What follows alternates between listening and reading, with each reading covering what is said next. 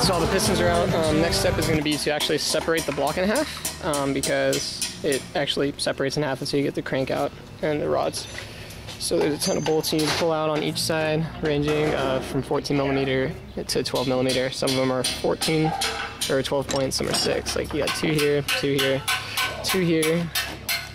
Um, you got one right up in here. You've got a couple up top on the block, and then on the other side you've got a couple too. Um, what you want to do though is you want to organize them. As you can see here, I made a chart so on the one and three cylinders, these are the bolt patterns, and I'm gonna stick the bolts in the holes so that they're all aligned and stuff. So we'll do that, um, use a breaker bar, and then just let it go.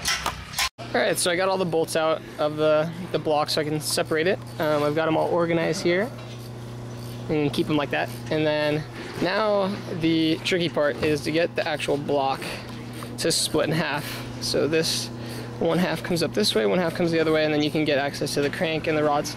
So a pretty easy method to use, and the only one I've actually ever used, is you take a car jack like this, just one of these, you know, just the cheapy car jacks, and you put it in between the bell housing here, like so. You put it on so it's standing on one side, and then lift it all the way up to the top of the bell housing, and it should slowly split it apart. I just want to show with the jack installed. I, I put some cardboard here and stuff and you can see that the deck is starting to split on both sides. So just keep cranking at it.